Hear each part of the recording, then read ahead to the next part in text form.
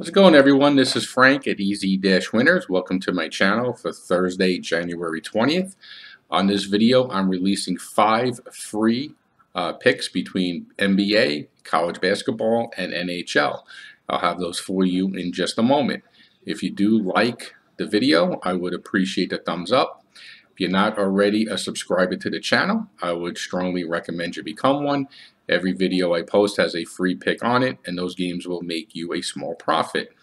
Also, in addition to that, take advantage of my premium prediction tonight. That is the game that I have the most confidence in is going to win and make me money. There are two ways you can receive it. It's valued for $175. I'm going to give it to you initially, though, completely upfront at no cost from me to you, so you can win and make money with my strongest game before you purchase or invest on any one of my packages. All right, the first game I'm looking at is in the NHL between the uh, Capitals and the Bruins.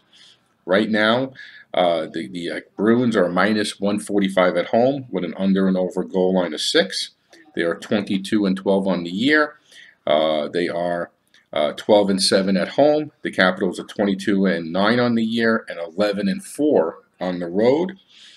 Uh, their uh, questionable is Oshie, right wing is questionable for Washington. He has missed the last two games with an upper body injury. Uh, John Moore is questionable for the Bruins.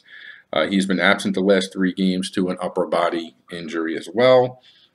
Uh, these teams did meet just a few days ago on January 10th. Boston did win 7-3 in Washington. Uh, the Capitals uh, have only won four out of their last 10 games, and the Bruins have won eight out of their last 10. What I like here for my free pick on this game is the under total goals combined. Uh, that has hit 34 times in the last 53 meetings in Boston. Uh, my uh, my other free picks in the NBA is between the Knicks and the Pelicans. I like the under in that game also. I also like the under between the Suns and the Mavericks. In college basketball, I like the under again between USC and Colorado. And between UCLA and Utah, I like the Utes plus the nine and a half at home to keep the game close against the Bruins. Those are my five free winners, and I do look forward to hearing from you for my top rated best bet tonight. That's going to be free as well.